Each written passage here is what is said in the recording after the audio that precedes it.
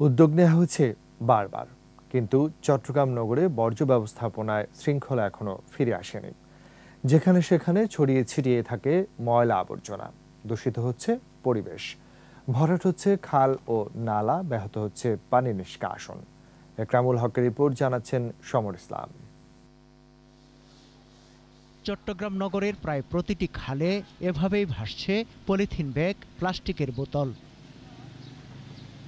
Mayor বলছেন polythene মোড়ারও গৃহস্থালী বর্জ্য নালা বা খালে ফেলায় জলাবদ্ধতা তৈরি হচ্ছে। এর জন্য অসচেতনতাকে দায়ী করেন তিনি। ঘরের গৃহস্থলী বিভিন্ন ময়লা পলিথিনে ভরে মুখ বাইন্দা ওই খালে থ্রো করতেছি। পলিথিন কারখানা বন্ধ করে দেওয়া হোক এবং আমরা পলিথিন যেখানে পাবো তার বিরুদ্ধে আইনি ব্যবস্থা গ্রহণ করা হোক।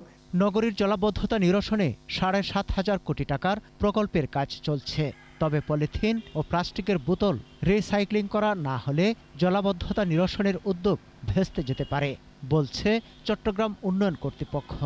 এই যে পলিথিন এবং বোতলগুলো যদি আমার রিসাইকেল না হয়, এগুলো যদি আটকে যায়, তাহলে পানিটা তো সরবে না যা- যাবে না, পানিটা যে ডাউন স্ট্রিমে যাবে, এটা কিন্তু পসিবল হবে না এই এই ওয়াস্টের কারণে।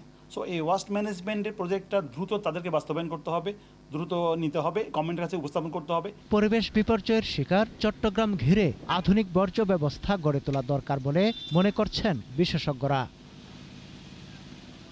সমর ইসলাম, একুশে টেলিভিশন।